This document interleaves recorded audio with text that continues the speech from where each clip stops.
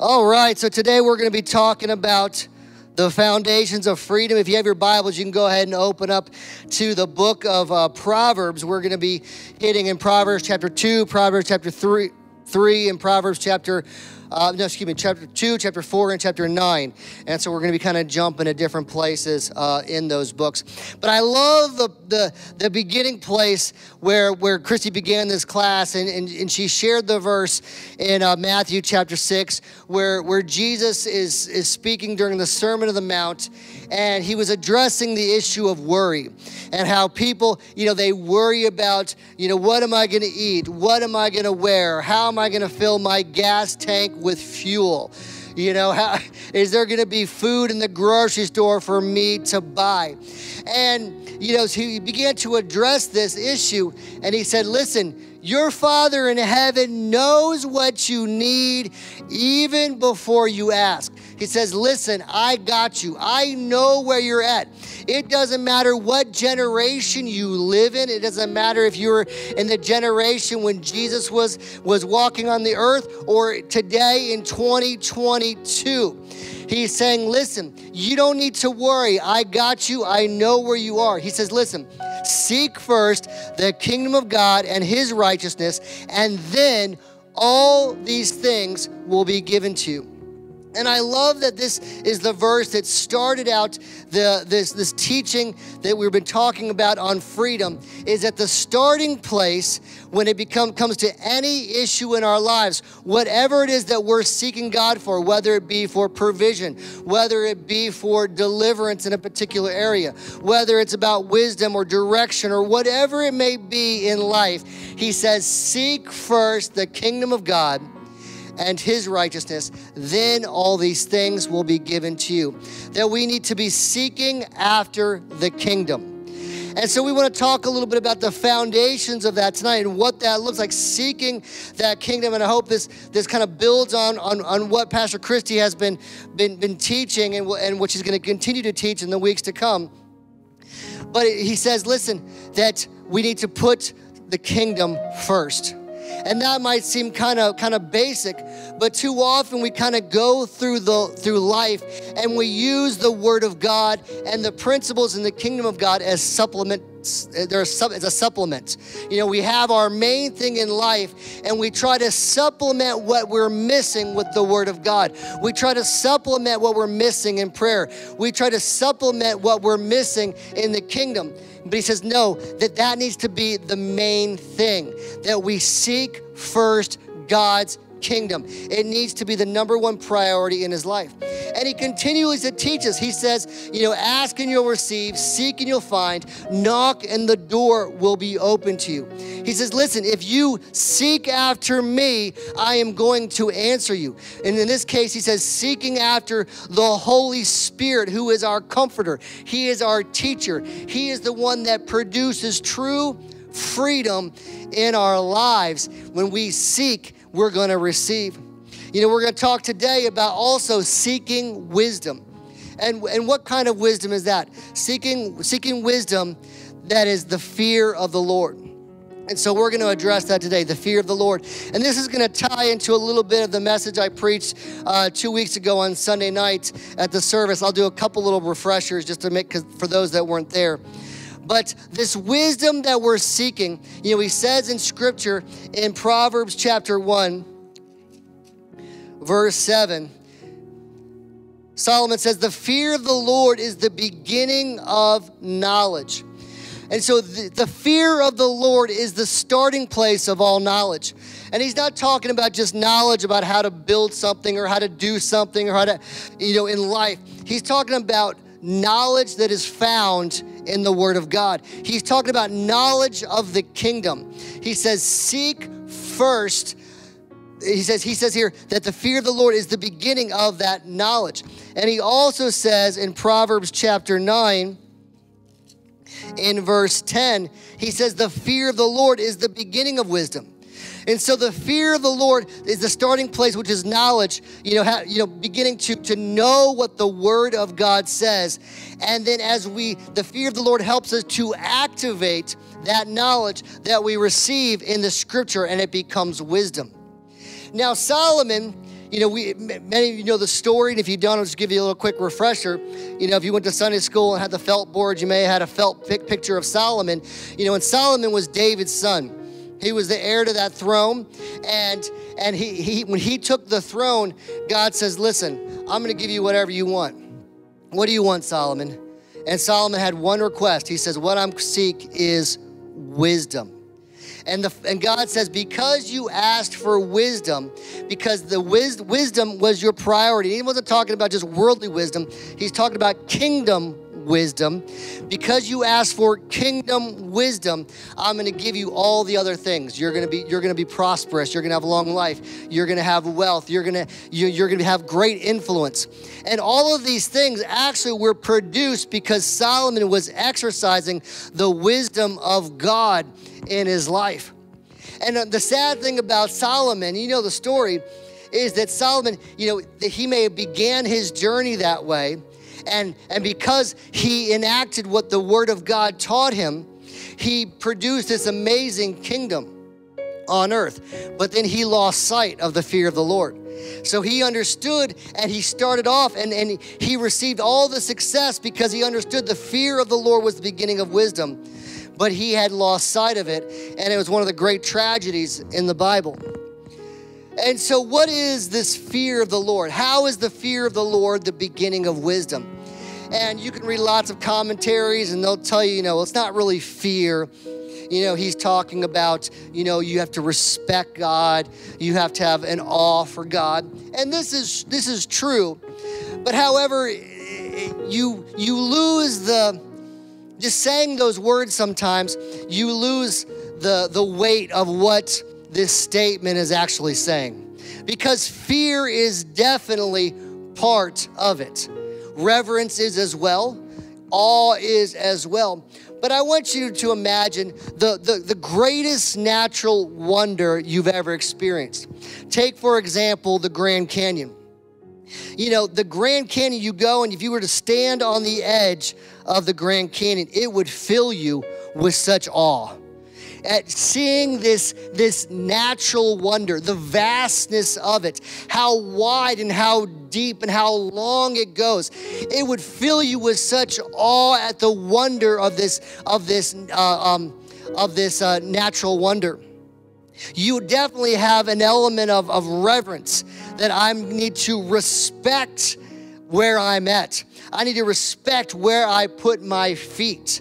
You know, and there's definitely an element of fear as well because, you know, I don't want to, you know, I need to respect this because, man, if I fall, I'm going to be falling for a bit, you know, and I'm not surviving that fall. You know what I'm saying? And so, you know, when we think about the, the fear of the Lord, we need to kind of put it in this, this mindset that this is the starting place of true wisdom. And, and that is that the foundation of this is that this great awe, this respect, and even fear of who God is, that He is a great and holy and mighty, powerful God. His love is vast, but his wrath is real. You know, to, to have this, this wonder.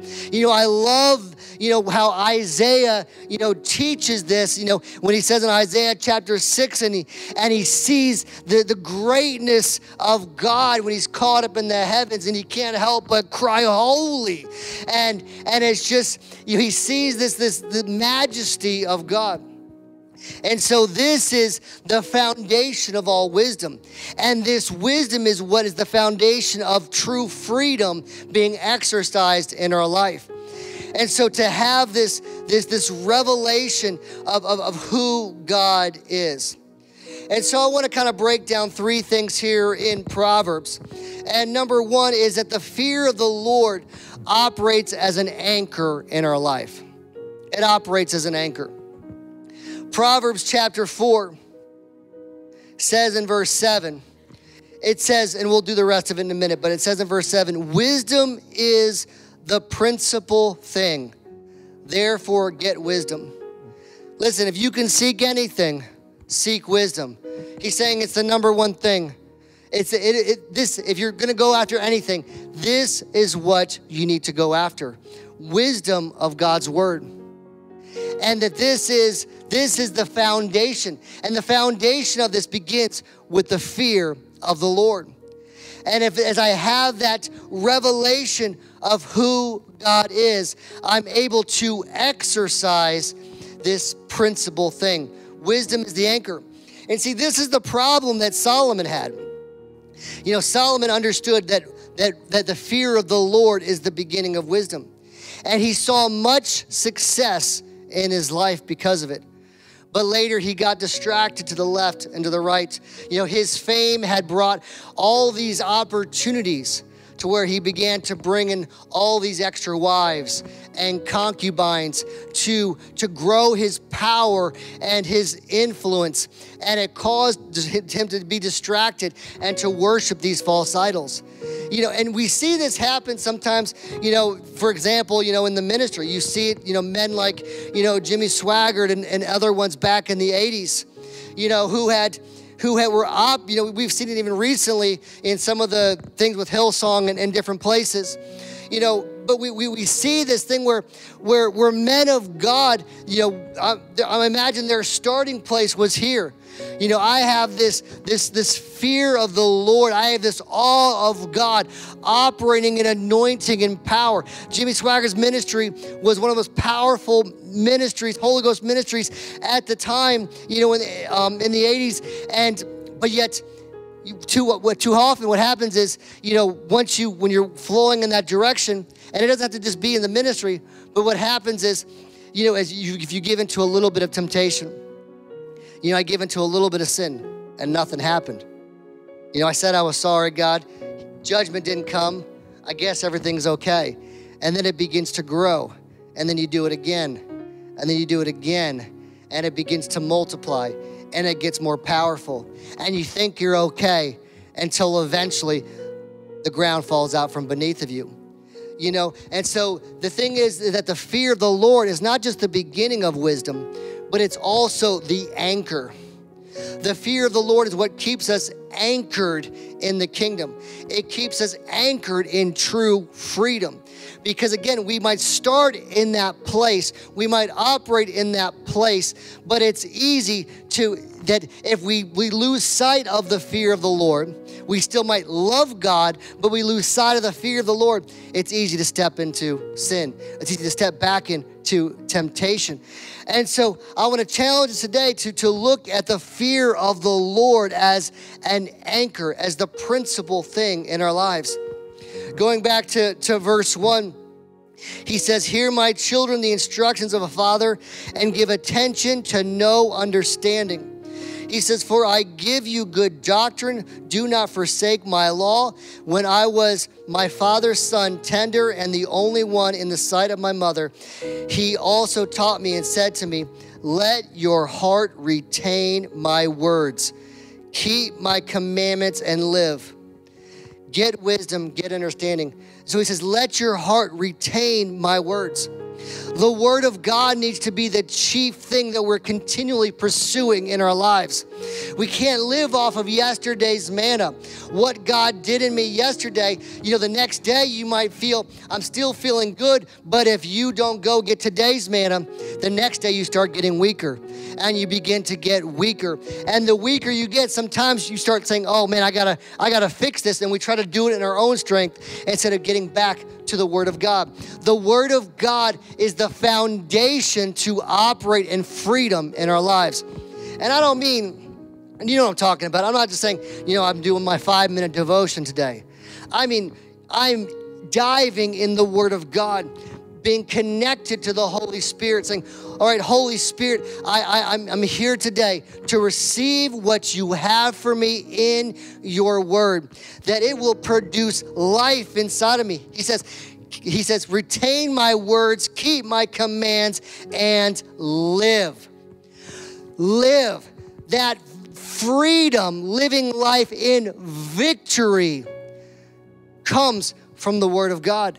It comes from retaining His word in our hearts, that we are operating in a place in the fear of the Lord, that we are just, we are consumed with, with His presence. And God, I, I, I don't want my eyes to go anywhere else. My, my, my eyes are fixed solely on you. You are the passion and desire of my heart. I want you so bad. And we can all relate to that first, you know, that that relationship we had when we were younger and we just became so infatuated, so in love with that, that young lady or that young man, and it, it consumed all of our time. You know, I see it with my boys sometimes. You're like, what are you doing? Nothing. You know, they're like texting, calling, visiting, you know, some girl, you know, and they just, you know, they kind of they get that that that get caught, you know, in that just wanting to talk to her continuously. And I remember that with with Kelly, you know, wanting to talk to her continuously, wanting to be with her continuously.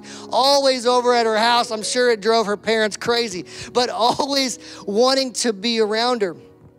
Our love for the Lord needs to be like that. Our desire for Him needs to be like that. Lord, I can't stand to be away. You know, I, I want to be in your word. I want to hear what you have to say to me. You are the desire of my heart. You are the focus of everything. You know, I'm you're, you're going to be the anchor of my life. That my, my, my heart retains your word. I'm going to keep your commandments and live. You know, and as we're in God's word, you know, and, and, we're in His Word, and we're in this place of, you know, okay, I'm operating in the fear of the Lord. God, God is my my anchor. You know, I don't, I'm not giving waste place to anything else in my life. As we're as we're in that place, He says, listen. He says also, for I, I give you good doctrine. You know, when we're in that place, it protects us from false doctrine. You know, and I gave this example on Sunday. If you're here, forgive me, but it's important. I want to kind of repeat repeat this again. But one of the one of the doctrines that gets gets abused the most, one of the verses that gets abused the most in Scripture is when Paul talks about the, the thorn that he had, had in his flesh. And people say people speculate and they talk all kinds of commentaries. What was the thorn in Paul's flesh? And if you study scripture in context, it's easy to see what the thorn in Paul's flesh was. It was opposition, it was persecution. Paul was continuously being persecuted, he was continuously being opposed. Everywhere he went to preach the gospel, he was constantly, the enemy was trying to get in his way. And he said, Lord, you know, take this thorn from my flesh that I may preach your word. And God says, Listen, my grace is sufficient for you. But what happens sometimes is that you know, because we allow the, the word of God to be twisted, we allow doctrine, we, we believe what other people's doctrines are, are, are, teaching us, we might say, somebody might tell us, well, listen, the thorn in Paul's flesh was sickness. Or perhaps the thorn in Paul's flesh was disability. You know, he had bad eyesight. Perhaps the thorn in Paul's flesh was some type of sin. And when we allow ourselves to kind of believe that, and then God's answer when Paul said was to take it away, he says, My grace is sufficient for you. What it causes us to lose the fight, to overcome whatever it is that we're trying to face, whether it be sickness, whether it be disability, whether it be some type of sin. And so he said, Listen, I've given you good doctrine. Good doctrine comes out of a place of the fear of the Lord. You know, if I see God as a little God, it might be easy for me to say, well, listen, if God is this little God and I don't see him as this big God which produces the fear of the Lord, but if I see him as tiny little God who I go to maybe when I need a little inspiration or I need a little help and you know something like that, when I when sickness comes my way, I'm not going to be able to have the faith to believe God's word that I can be healed. You hear me? You know, if I if I have some type of disability in my life, if I if I see God as a little God, if I don't see him as big God, you know, if I don't if it does if I don't see him as the God that produces the fear of the Lord in my life, you know, then I'm not going to believe for for healing or deliverance in that area when it comes to sin. I might say, well, listen, you know, this particular area in my life, this area that I'm struggling in, the area of freedom, you know, I might say, well, listen, I'm not going to be able to overcome that, you know, because because because maybe Paul went through that. I see God as a small God. But when we see God as a big God who never lies, who always tells the truth, and when he tells us in his word that by the stripes of Jesus we were healed.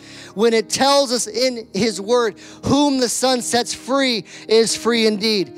When he tells us in his word that we are no longer slaves to sin but that we are now slaves to righteousness, that we have passed from death to life. Excuse me. When, so when we look at the Word of God, you know, we need to believe what it says. We need to operate in the fear of the Lord and see God as this massive, powerful God that can always back up His Word.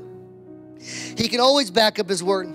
Because as we talk about, about freedom, you know, true freedom, again, is passing from death to life.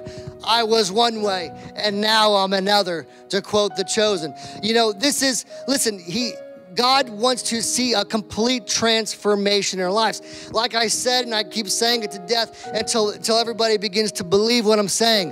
When we become born again, we are not sinners. We are set free. We are now saints of God. God has empowered us with His Holy Spirit to walk in victory, to walk in freedom, to walk free from the power of the enemy. The times that we give into sin is because we've lost sight of the greatness of God, that we're not operating in the fear of the Lord if we're truly operating in the fear of the Lord, seeing God in all of his glory, and we're like, this is the God that I serve, you know, I'm gonna walk, I'm gonna walk in holiness. I'm gonna walk in the victory that is mine. You know, I'm not seeking after victory in my life. Victory is already mine. We have to change our mindset. I'm not pursuing freedom. I have been made free by the blood of the Lamb. It is mine, it belongs to me. God has gifted it to me, and He has empowered me with His Holy Spirit to walk in that victory and that freedom that He has given me. But in order to do that, there's, it's not about a strategy. It's not about this or about that. It's about walking in the fear of the Lord. This is why it's the foundation. This is why it's the beginning of wisdom. In that that that awe. And so that's why it's so important to continuously to get in God's word and not just read it to, to, to, to like I'm getting my steps in. You know, I'm getting my words in. No, no, no, we're not getting our words in. This is God's word. I can't wait to read what He has to say to me. And I can't wait to pray and talk to the Holy Spirit about what He is saying to me. All right, Holy Spirit, how, what, how do I how do I take this and make this alive in my life? I surrender to you. Lord, oh, I see what you just said to me. I believe what you are saying to me in this word. I reject all doubt that would try to come into my life. And you know how I know I'm going to I'm going to continue to say it again and again. I'm going to speak it again and again. Amen. Amen. And so he says, Don't forget nor turn away from the words of my mouth. They need to be a priority, it needs to be the center, it needs to continuously be on our mind. Because true, true freedom, he says, do not forsake her, and she will preserve you. Mm, love her, and she will keep you. Wisdom is the principal thing, therefore, in all you're getting, get understanding. Exalt her, and she will promote you. You're looking for that next level in life? Exalt the word of God. Exalt the word of God. I exalt the word of God by continuous speaking. I don't I don't stop stop talking about how you can't do what the word of God says. Stop giving stop giving power to the enemy in your life. Don't, don't, don't say things that are contrary to what the Word of God teaches. If the Word of God teaches, if it takes me my whole life, I'm going to continue to work to align myself up with the Word of God. And so he says, Exalt her and she will promote you. She will bring you honor when you embrace her. We need to embrace this word. We need to embrace this with hold tight. Don't ever let go and she will place on your head an ornament of grace, a crown of glory. She will deliver you. And so allow the fear of the Lord to be that anchor in our lives. It's more than the beginning of wisdom, it continually keeps us glued to God. And so when we ever lose, if you're like, you're struggling and you're, and you're, um, you're kind of out into the waves or whatever, the, the chief thing, come back to the very beginning the fear of the Lord is the beginning of wisdom. So I'm going to get into my prayer closet. I'm going to close that door. I'm going to praise the Lord. I'm going to worship the Lord. Father, reveal yourself to me in Jesus' name. Father, I desire to know you. I desire to be intimate with you. Reveal yourself to me in your word. And as we continue to pursue him that way, don't say, well, nothing happened. Continue pursuing them that way until, until the, the, the rocks in your heart or the, the walls in your heart begin to shatter and break and crumble. And so we're talking found the fear of the um, the fear of the, the foundation of freedom is the fear of the Lord. And so number one is the fear of the Lord as an anchor. Number two, the fear of the Lord is a shield. And so he says here in, um, we'll turn to chapter 2, and we'll read verse 7 first. He says, Store up sound wisdom for the upright. Excuse me. Excuse me, let me read that again. He stores up sound wisdom for the upright. He is a shield to those who walk uprightly. He guards the paths of justice and preserves the way of his saints. And so here the, the fear of the Lord, as we're gonna read here in a minute, this is this is it's a shield in our life. When we're walking in the fear of the Lord, He preserves us, He guards us, He shields us, He stores inside of us sound wisdom. The fear of the Lord is like a shield. It reminds me of the in when when Paul talks about the armor of God and he talks about the shield of faith and how it blocks every fiery dart of the enemy. So, what is this faith? Faith in the greatness of God. You know, it's like, I know who has my back. You know, the, the devil can give me all kinds of threats. He can try to come against me, but I know who I belong to.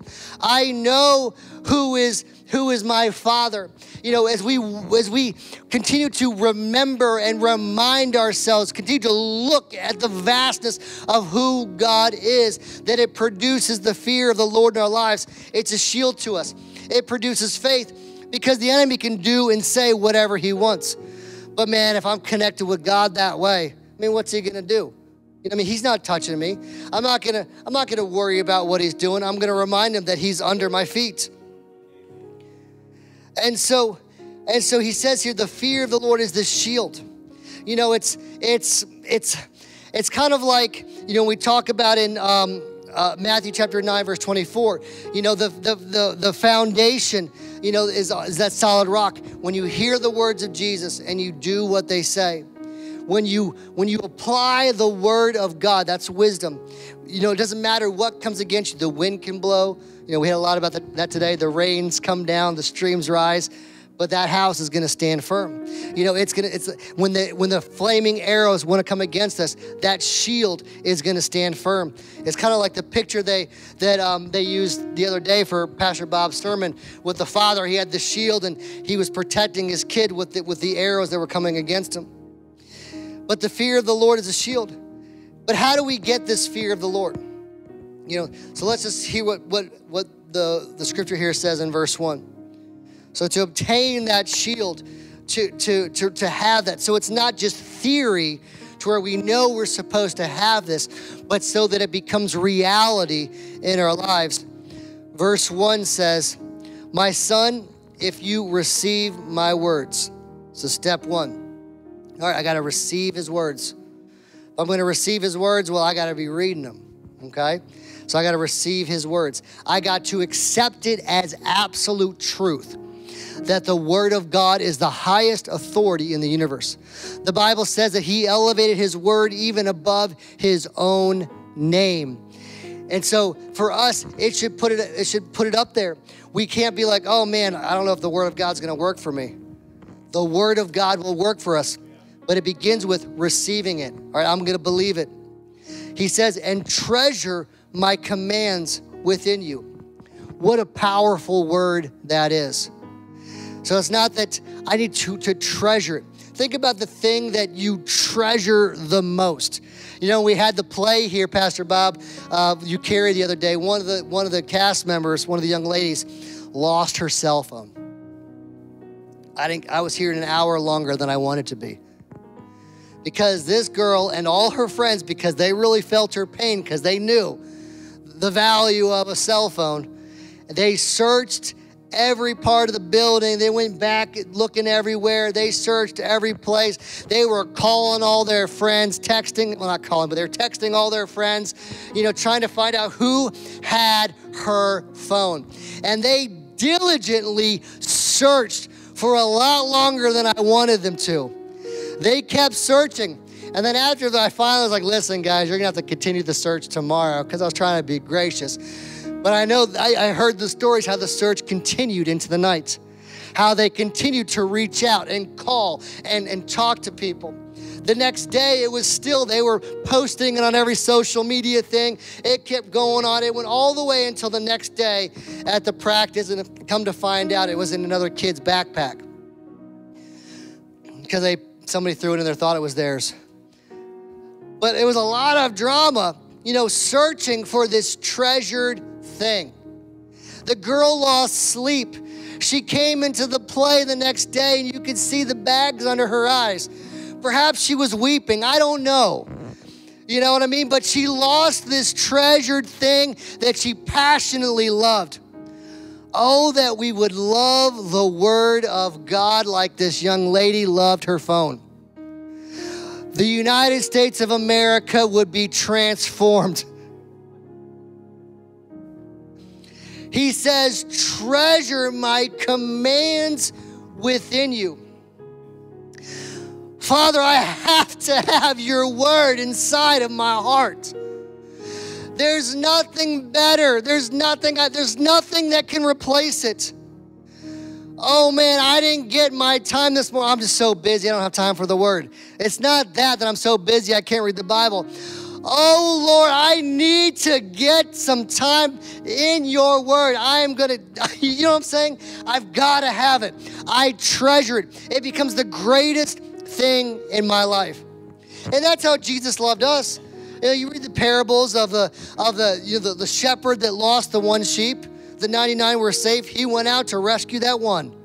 You know, he that shepherd did what he had to do, and that's what God did for you and me. He treasures you. It's like the lady that lost her one coin, and Bible says she swept the floor. Look, you know, she was like the young girl who lost her phone. Got all her friends involved looking for this one little coin, and then rejoiced just like they all did. You know, when she found the coin, I mean, you must have thought this girl found the greatest thing in the world when she found her cell phone. I mean, the, the countenance of every cast member changed. I mean, it was like they passed from death to life you know? And so here it is that, you know, God loves us that way.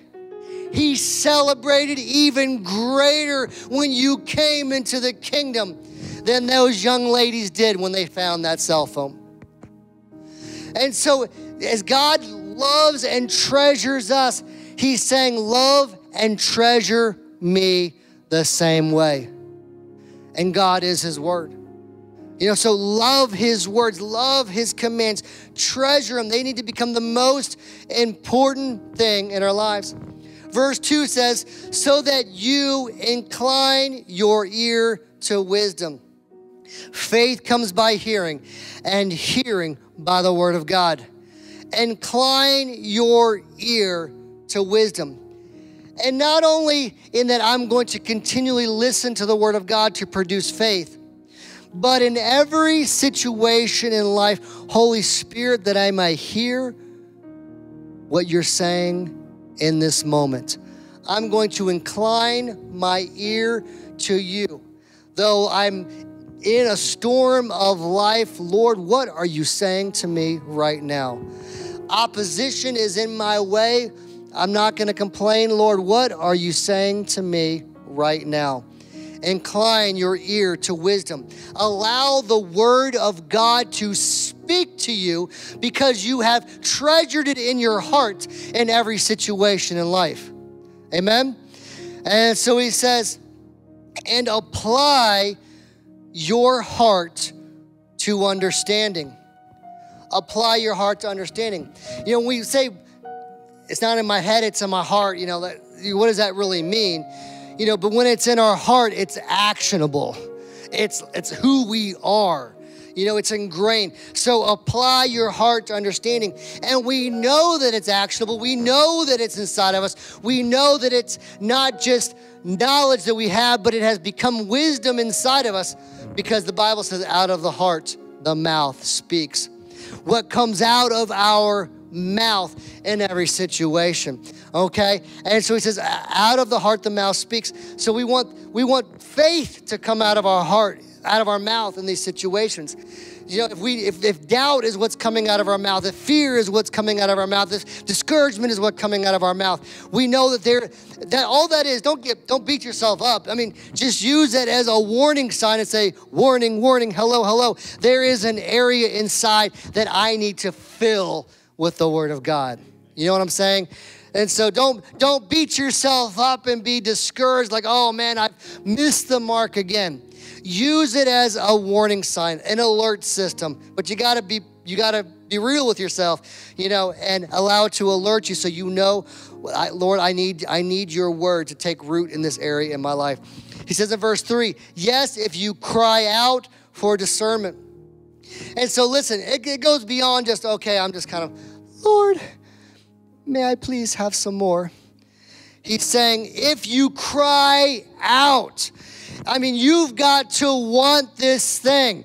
You know, Lord, I desire your word to be alive in my heart. I desire faith to be operating in my life. I desire your, I got to cry out for it. I've got to want it. Cry out for discernment. And who gives that? The Holy Spirit does. Cry out, I need it. I want it. I have to have it. I can't live without it. It's my precious. I mean, I'm so obsessed, like Smeagol or Gollum was in The Lord of the Rings. I've got to have it. I mean, you know, that's a good example. I mean, he was totally nuts and crazy. He had to have it. We got to be nuts and crazy for the word of God. He says, and lift up your voice for understanding. So again, I'm shouting out. You know, we pray. Sometimes you gotta don't be meek and think, oh, I'm gonna be quiet, man. Shout it out. If you were at a ball game, you would shout it out. You know, you, here, let, let me give you an example. When we pray, and I'm like, hey guys, pray out loud. Lord, I just pray that you would, you know, you don't want people to hear you. Man, cry out, shout it out. Man, when somebody cuts you off in the road, you don't have any problem raising your voice and, and sticking your middle finger up in the air and hollering at that guy. You don't have a problem when your kids are being disobedient, letting them know how they're supposed to behave. You don't have a problem doing that. You know, so when the enemy is coming against you and you are rebuking the devil, you should be crying out. Hello?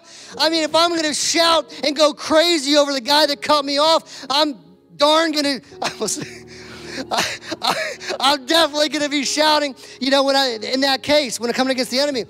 You know, when I'm you know, if you know, if I'm like trying to get, you know, Kelly's attention, you know, because I want her to know, hey baby, I love you. I'm not like, hey babe, I'm love you. I want to talk. I'm like, hey babe, you know, I'm gonna call out to her. I want her to come here because I like her and I want her right next to me. You know, I don't have a problem when I'm worshiping God, shouting out. You know, just like I might shout at a ball game, man, I'm gonna be celebrating God's goodness even more than that. Hello, we need when you. So next time we're in church and you guys listening online, don't think that you you're not hearing me. I know you are. When we're in church and we are praying, man, open your mouth, shout it out, okay? Let, let speak it into the atmosphere. Amen. So lift up your voice for understanding. If you seek her as silver, listen, you got to go after it. If you want this, you got to go after it, man. If I told you there was a pot of gold, you know, out there in the field, you know, go get it, man. Let me tell you what, people people will be going crazy for it. I mean, we just stick eggs with chocolate in it, and the kids go crazy looking for all the eggs. You know, how much more we go seeking when it comes for, for silver. Seek wisdom, seek God's word to be real and active in our lives. He says, and search for her as for hidden treasure. You know, go after it.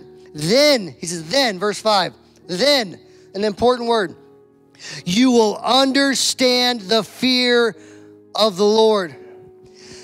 Then you will understand the fear of the Lord.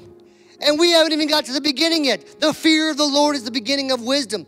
And so, if you desire the word of God to operate, if you want to be a man or woman of faith, if you want to be a man or woman of God who operates in the kingdom in power and authority, we have to seek Him. We got to cry out. We have to desire. We have to apply His word in our life. Go after it. It says, Then you will understand the fear of the Lord.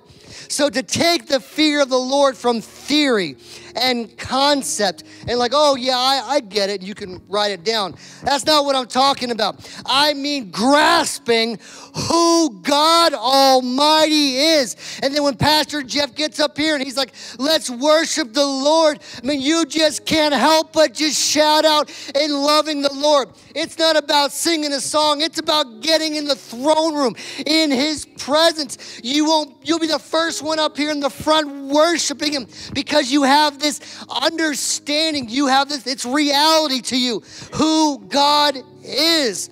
Amen. And so I just want to challenge you today to enact this in your life. And as you know the fear of the Lord, it becomes a shield in our life. The enemy can't get you. Sing that song, can't touch this. You know, he can't touch you because you become invincible to the enemy because you are now in God's presence in that way. So finally, this is a funny one. You can turn to chapter 7. He says the, um, the fear of the the fear of the Lord is a sister. So the fear of the Lord is an anchor, the fear of the Lord is a shield, and the fear of the Lord is a sister. Let me read. Um, let me read uh, chapter 7 to you. He says, My son, keep my words. And again, he says, Treasure my commands within you. Keep my commands and live. And the law as the apple of your eye. Keep focused on the word of God and on his kingdom. Bind them to your fingers the word of God needs to be actionable. Write them on the tablet of your heart, and it's become part of who you are. Verse 4 Say to wisdom, You are my sister. So let's explain what that means in a minute here. He says, And call understanding your nearest kin, maybe your, your daughter, your son, that they may keep you from the immoral woman, from the seductress who flatters with her words. Now we're going to read this. I'm going to read the rest of this to you.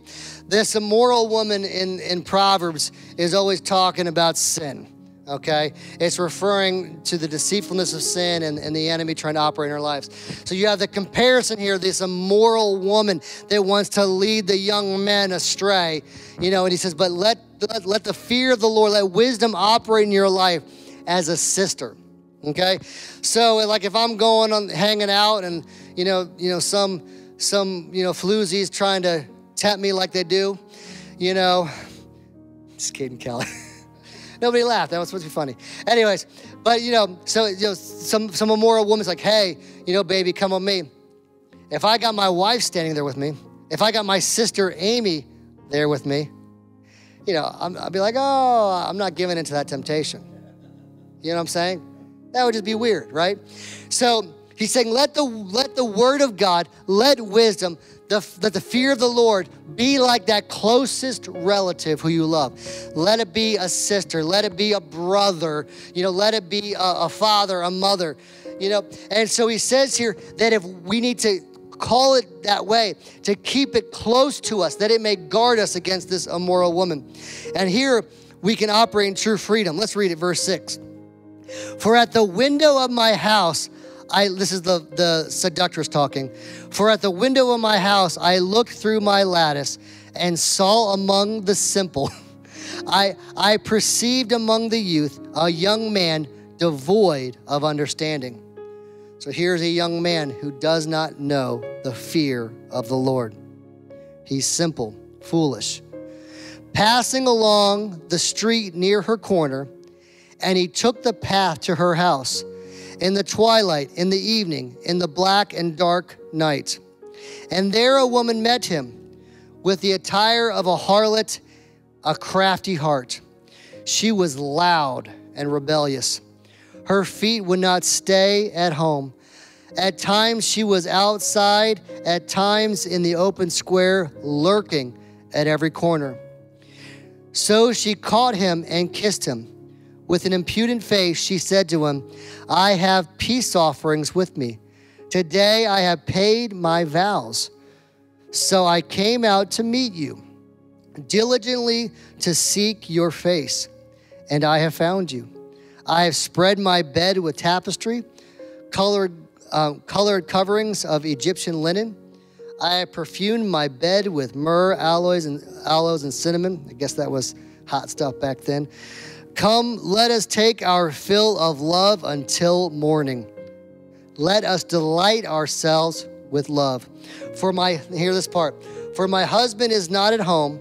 He has gone on a long journey. He has taken a bag of money with him and will come home on the appointed day. What does that last part kind of sound like? It's almost like talking about, giving a comparison here to the Lord, which it's not. But here, this, this, this adulterous woman will operate in the spirit of Antichrist, wanting to, to deceive people. Hey, listen, you come with me. You know, you need to pursue your happiness. You need to pursue, pursue we need to pursue, um, come, come to me, and I'm going to give you the, the, the comfort that you need. But he says, listen, it, it's all a lie, and you can avoid this sin if you keep wisdom as your sister. If you want to walk in freedom from addiction, you want to walk in freedom uh, from sin, you want to walk in freedom from fear, you want to walk in freedom from unforgiveness, from bitterness, from doubt, whatever it may be.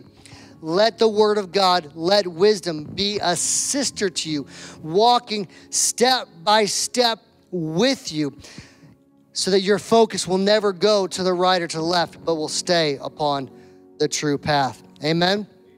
Amen. And so again, we're gonna let me close with this this last thing. The fear of the Lord is the beginning of wisdom, but the fear of the Lord is also an anchor. The fear of the Lord is a shield, and the fear of the Lord is a sister. When we when we have this view of God, it will it will produce the freedom that we desire because that freedom is already ours. We just need to have that greater understanding of who God is. Amen. Amen.